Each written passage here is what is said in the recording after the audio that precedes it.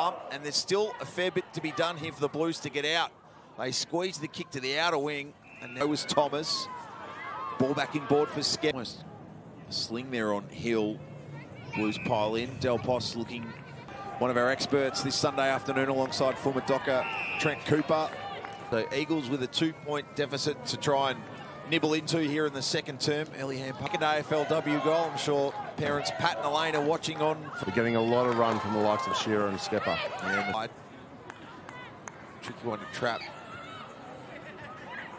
Just holding a shape smartly there was Skepper, which then generated the 1-2. The seconds, Hill's kick worked its way to Sherar, gives it off. As everyone was filing in at the end of a training night, was Darcy we've enjoyed so much throughout AFLW. Oh, it's been the absolute class of her game.